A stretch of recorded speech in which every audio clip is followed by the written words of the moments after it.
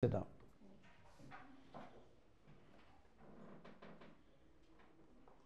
What's your name? So Natasha, Okay, Natasha. So when is your uh, personality test? uh, so the dates have not come yet. Okay. Please sit relaxed. There also, take your body back a little. Sit relaxed with your back to the back of the chair. There also you should sit like this only. You understand? Huh? Uh, There's nothing to worry about it. It will be better. So uh, we'll start. Kindly tell us something about yourself. Uh, so myself Natasha Goyal. Um, I am a student of disaster governance uh, and uh, preparing for the civil services for the last two years. I belong to Punjab Ludhiana and uh, uh, my interests are diary writing and practicing meditation. Okay. So what kind of a meditation you do?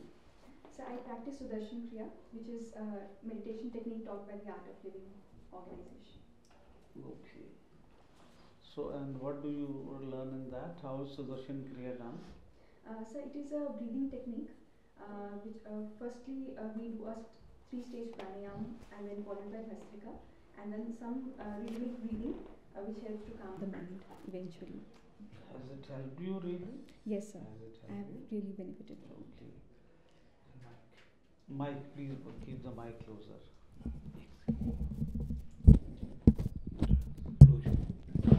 Thank you. So I'm sure you're reading the newspapers. Have you read today's newspaper? Uh, so I glanced through the front page. Front page. Which Yes, newspaper? Uh, so the Indian Express. So Prime Minister said something about freebies today. Can you tell me what, what has he said? Uh, so he was basically saying that the political parties they are uh, putting and they are not really uh, paying much attention to the financial process and uh, they are uh, exceeding the expenditure uh, more than the income of uh, uh, more than the income uh, which is allowed so that is spoiling the political culture of the country So what is your view? uh, so freebies in itself, uh, there should be some sort of uh, uh, mechanism which should be there in the country. Uh, freebies in itself are the, not really bad in the sense that um, the purpose for which the freebies is given. Uh, there are a large number of people who are below the poverty line in the country.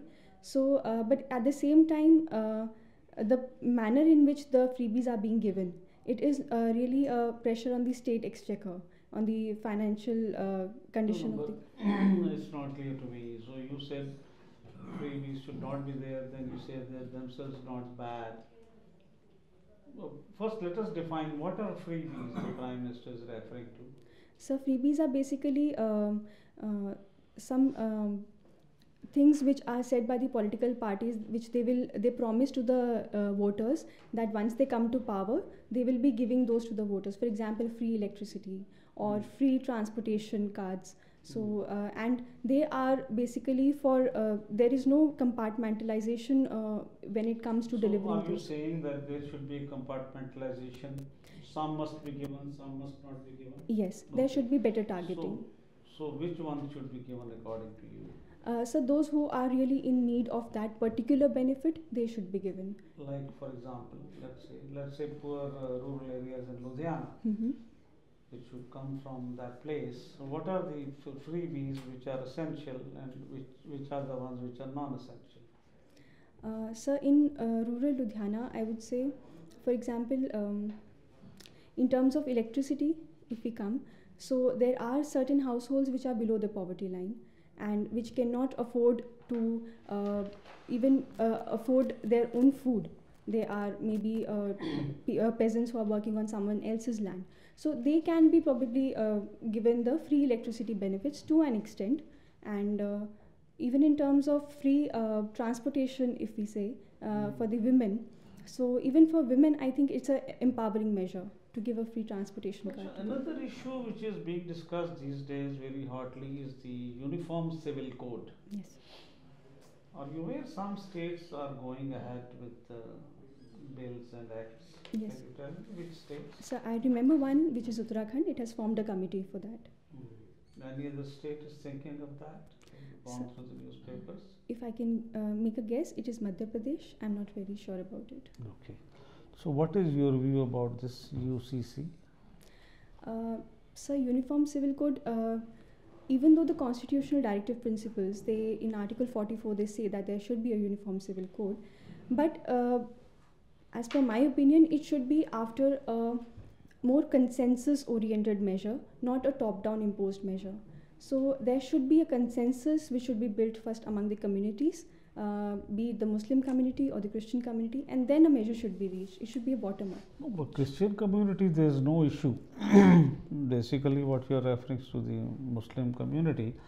But tell me, if consensus doesn't happen for another 30 years, Mm-hmm.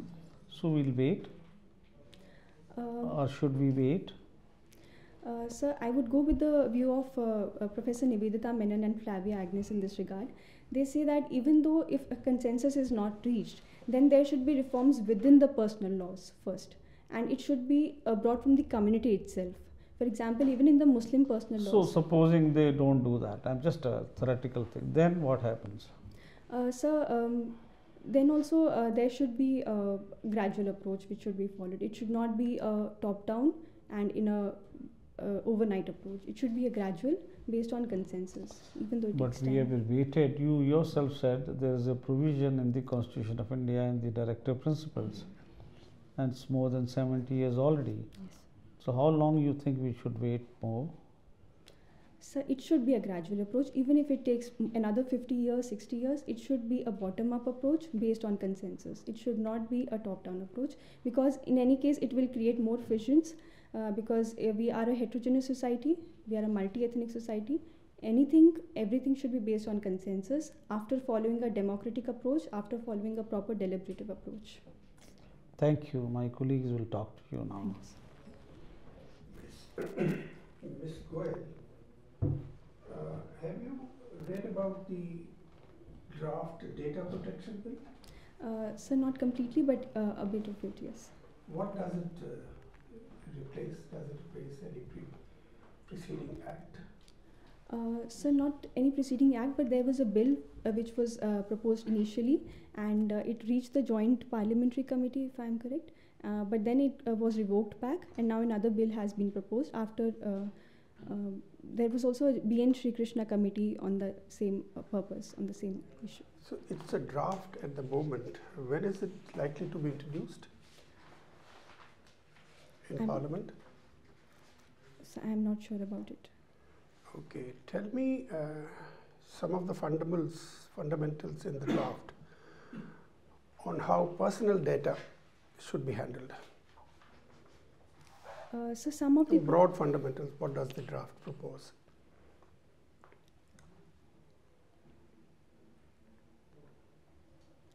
so there is a provision of consent first of all from the side of the uh, person who is It's informed consent. yes sir. What is informed consent? So, informed consent is when the person who is uh, parting with his data, uh, he is informed about uh, where the data will be utilized and how it will be utilized. A broad measure that okay, his data is being taken and he is ready to give that data. Can he withdraw his consent? Uh, so, as per the bill, uh, I think there is a provision to withdraw the consent also. How does he withdraw consent? You know, you look at uh, these uh, uh, social media sites, big meta sites. Uh, before you can download the app, they ask you to whether you accept the terms and conditions, and they are so large. No one really goes through them. Yes. So, is it uh, informed consent then? Is it possible to have informed consent?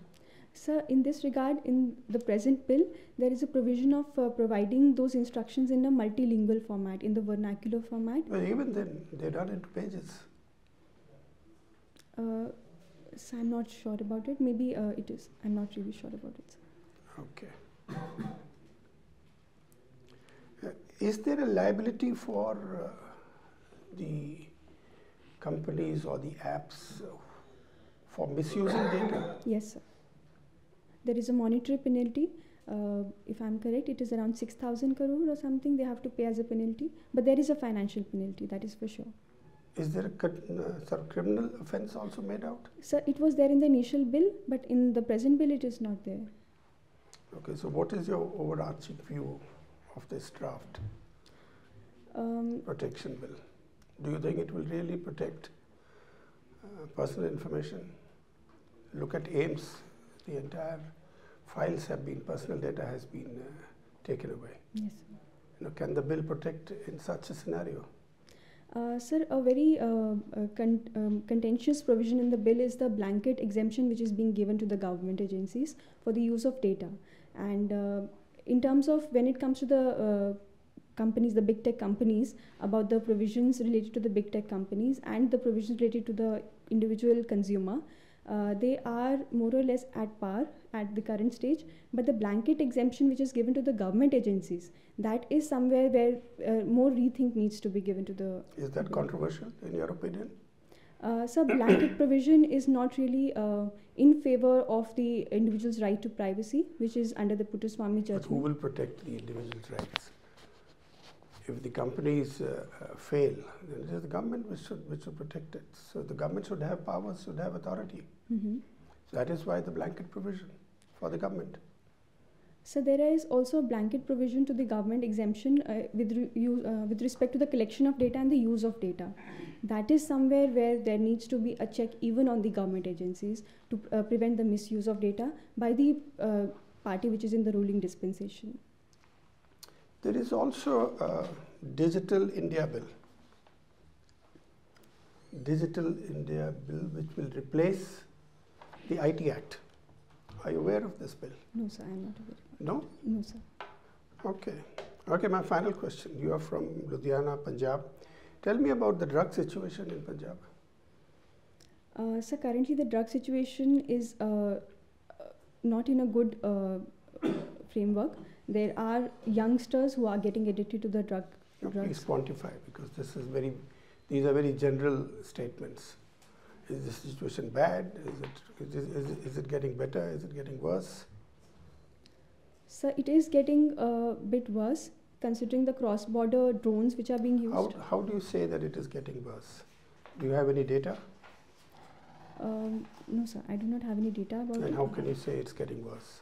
because of the uh, use of uh, drones, which is uh, being uh, intercepted by the BSF every now and then, and also after the situation in Afghanistan, where the Taliban has taken over, and uh, there is completely uh, law and order is because the economy now initially Afghanistan economy was a bit dependent on the Now donors. we're talking about Punjab. Yes, sir. Afghanistan, I can understand. From Afghanistan, it goes everywhere in the in the world, including Pakistan. Pakistan comes here, and there are various methods of uh, trafficking, including drones. Mhm. Uh, but uh, what are the drugs of choice for an addict? Which drugs does he use? Uh, so one or two, uh, one would be heroin, which is uh, used. Another is the whitener, which is used by the young children. What is heroin called locally in Punjab? I'm not aware about. Chitta. I think so. Okay. What are the other drugs? Heroin is one. Um, I'm not aware about it. Pharmaceuticals. Can they be abused? Cough syrups, they can be used. Only cough syrups? So I'm aware about only the cough syrups. Okay, how do you, because I'm telling you, Punjab, the problem is quite serious Mm. and it is not getting better. Uh, large number of youth, you know, have fallen prey to it. So, what is the solution? Of course, there is law enforcement, Mm. better interdiction from across the border, but is that enough? No, sir. That is not enough because uh, even at the end of the day, the government has limitations. Uh, there needs to be citizen empowerment. That is the most important and the most pertinent uh, step which needs to be taken. What do you mean by citizen empowerment in terms of drugs? No, sir. In terms of uh, more rehabilitation centers and even uh, more counseling sessions for the parents and for the drug addict. Because eventually, even the drug addict is a victim. He is also fighting with his own limitations, and eventually, the family is the wo- worst sufferer in any case. So, uh, looking at the victim, uh, looking at the drug addict as a victim rather than as a person who is uh, intentionally doing it, uh, that is the first step So, uh, counseling for the parents is needed, and also for the rehabilitation centers, there needs to be proper infrastructure and more awareness about it. Recently, there was a case of a woman uh, who was uh, there was a video taken. She was uh, into uh, uh, under the impression of the drugs. She had taken recently. So, um, one very major issue is that there is a stigma attached to the woman addicts. That needs to be taken away because even the women they are getting into addiction, and because considering the patriarchal setup which is there in Punjab, so uh, addiction about women does not come to the surface. That is the very very important step which needs to be taken. So Thank more- you. thank Thank you. Ms. Natasha, you talked about Afghanistan, you talked about the law and order situation there, you discussed drugs, you talked about women. I have some questions for you. First of all, do you think Afghanistan will, under the Taliban, give due respect and importance to women? So till now they have not given. So, what is your opinion? Will, it, will they do so in course of time? Uh, so it looks the chances are bleak for that. Now, drugs. Afghanistan was a major drug producer. And do you think there are indications that it is again becoming a major drug producer? Yes, sir. So, what can be done to check that? Uh, sir, uh, since the initially the Afghan economy was largely based on the donors' funds, now that has stopped. So the only fallback option, the major fallback option, is the opium production. So um, internally, any doing anything would be a difficult task. Global cooperation would be needed at the level of UN, at the level of other international agencies. The countries will need to come together. What do you think should be India's policy towards Afghanistan? Sir, India's policy initially we were not in favor of talking with the Taliban, but now considering that they are in power and they will remain in power, India needs to have words. India needs to move with diplomacy. India, you think, needs to have a dialogue going with Afghanistan? Sir, a dialogue would be needed with the Taliban because they will be in power. But do you think that will uh, not bestow a certain amount of legitimacy to the Taliban government despite its repressive policies towards women? What is your view on that? Uh, sir, uh, when it comes to legitimacy, there are already questions, but then there are other countries who have already bestowed their legitimacy to the Taliban government, for example, China and Russia.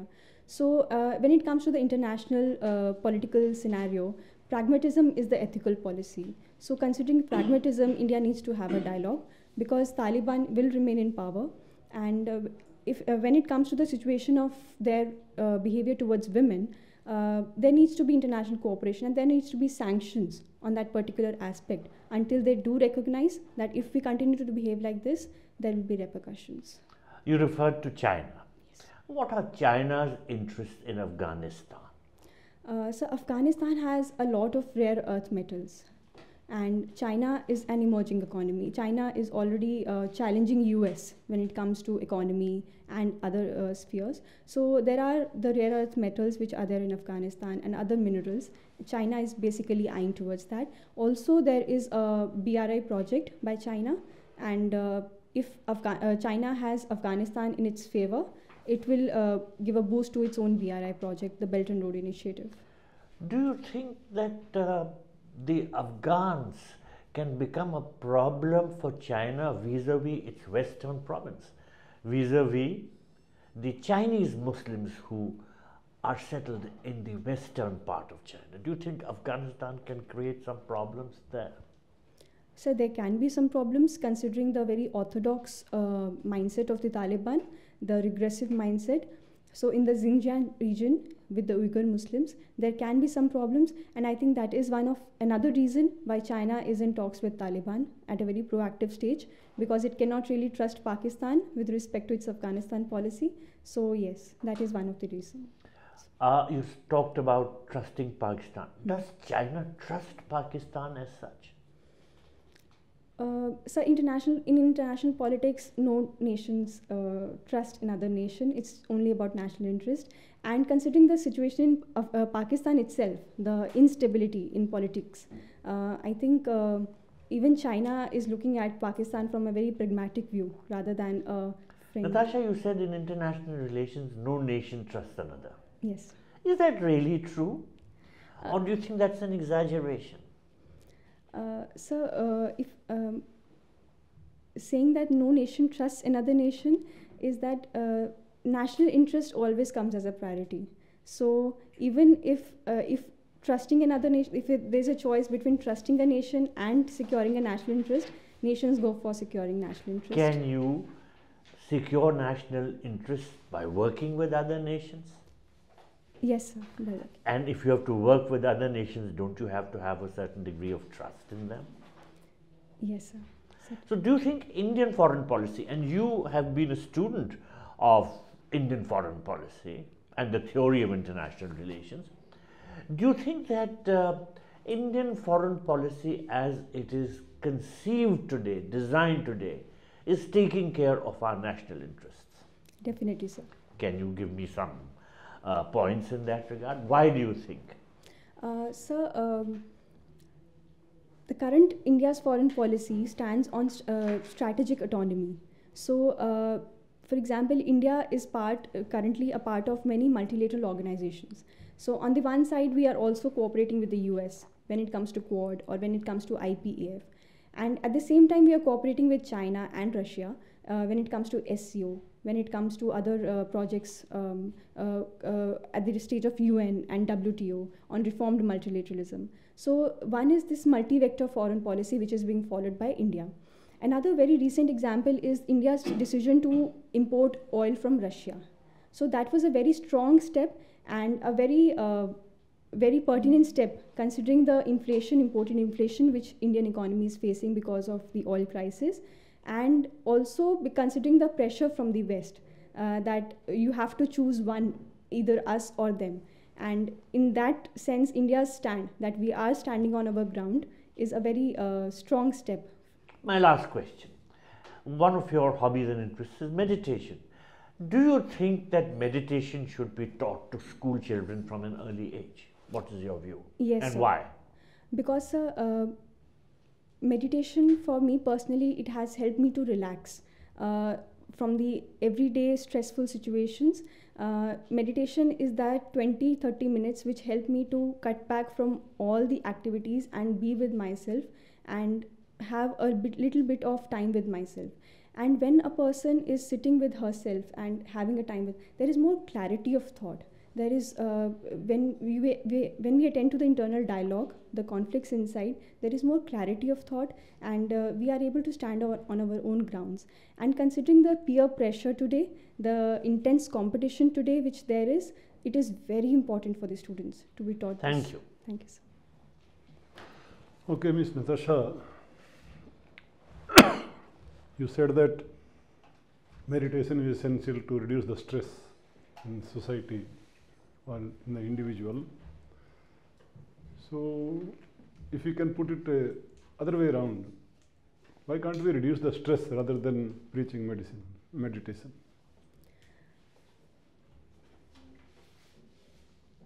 Uh, sir, uh, stress is basically when a person has a lot of work to do, but a very less time to do, or very less energy to do. And considering the time, the information society which we are living in, there is going to be, uh, even if not the work, but the pace at which the world is moving, that is going growing exponentially. So, uh, reducing the stress, meditation is a technique to handle that stress. So, first creating the stress in the system, world or even in the country. Stress can be because of unemployment, stress can be because of other serious reasons, maybe inflation. Then, rather than tackling those things, and we start, it is something like rather than taking protective measures, like in case of health, preventive measures, you are prescribing more of a cure. So, cure oriented uh, approach is costly or more expensive as well. What do you think about it?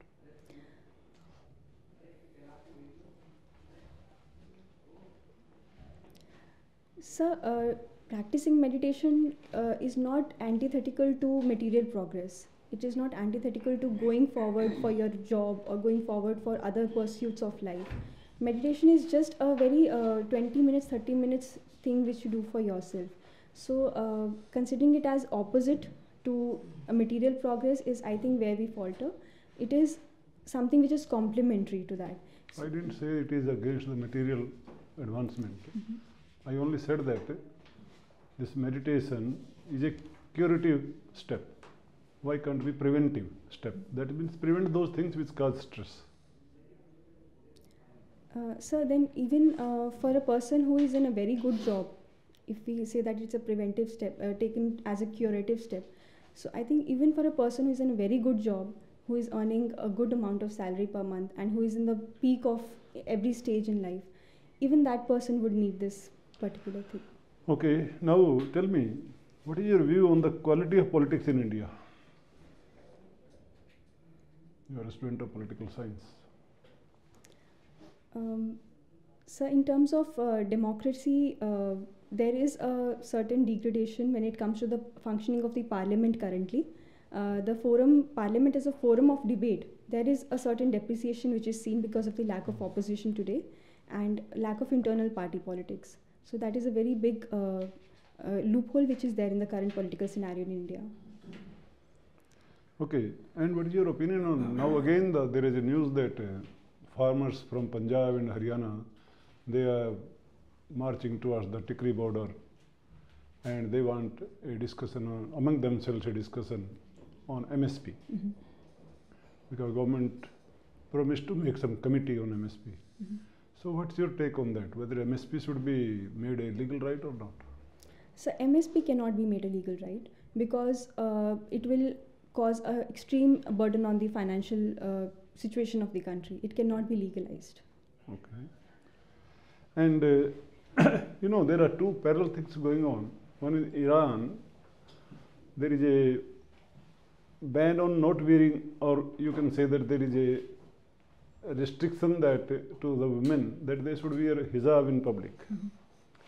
Whereas in India, hijab wearing is uh, not tolerated in uh, schools like in Karnataka situation you must be knowing.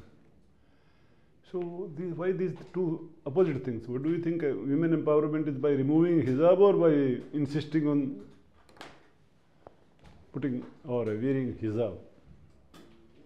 Or for that matter, any anything like that? There are other indic- other symbols also. So my view would be that women empowerment is through a route where it is her decision to whether wear the hijab or not wear the hijab. It is not somebody else telling her that you should do this or you should not do this. It should be her own choice and that should be respected. So in that way, Iran they don't want to wear, so that is wrong thing on the part of the government. Whereas in India they want to wear, and they are not allowed to wear, particularly in the college, schools, etc. So both are doing wrong things, even though both are doing opposite things. So when it comes to Iran, so the protest is coming from the women itself. So that decision should be respected by the state. Yeah. If the women do not want to wear it, that they should be given a go ahead with that. Considering the situation in Karnataka, Yeah. considering the schools are a very secular institution, there is a proper des- dress code which needs to be followed. So in that case, uh, the provision of the uh, uh, schools that should be followed. The laws of the schools should be followed within the secular space of the institution. But if it is a secular and we have prayers in the school, which are not of secular nature, what is your opinion about it? Uh, so even in that, there is a constitutional provision uh, that uh, if the guardian has consented for the prayers, and so uh, according to that, uh, the norms should be followed according to the constitution norms. Okay, last question. Now, sustainable development goals are there. Where does India stand in that?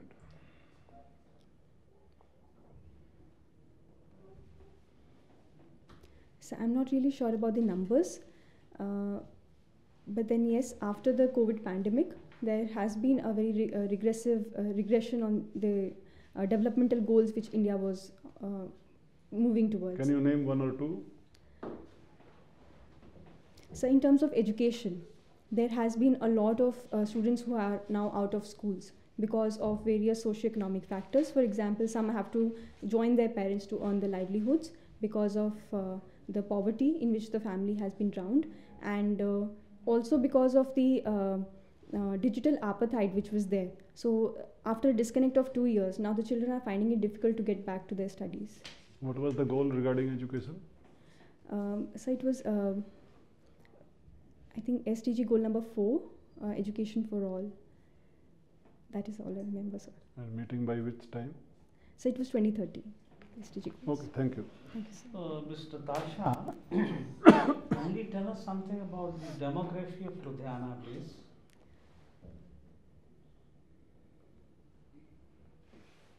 So I'm only able to recall one, which is 74, 75% of literacy is there uh, in the Ludhiana. Yes. Doesn't matter. Now about uh, Punjab, they say paddy cultivation, you know, has uh, depleted the underground water quite a lot. What's your view? Should it continue? Because farmers want to continue with it. Mhm. Should it continue? If not, then what steps should be taken to stop it? So paddy cultivation cannot be stopped overnight, first of all, because it will have serious implications on the food security of the country. So before farmers, food security. Only country, right? So many countries produce paddy. The entire eastern India, the entire southern India produces paddy. So it's more because of MSP that they get, I think. Yes, sir.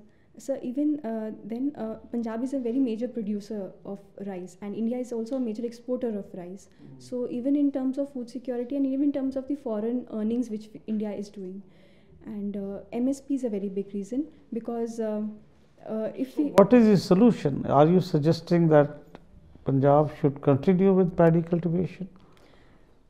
so Then what happens to the underground water? So it is not a sustainable solution from the present perspective. So I'm asking you, what is the solution according to you? So one solution could be that promising more MSP for the alternative crops, for example, millets, which are more socio-economically suitable for the climate of the uh, uh, that region. Okay. More MSP can be awarded for those crops, so that farmers they uh, naturally they divert. But quantity wise, these will not be sustainable after all, point is. Okay, then what else? Anything else? So I'm able to. Uh, Okay, doesn't matter. So thank you, Mr. Tasha. We had a very nice discussion with you. thank you.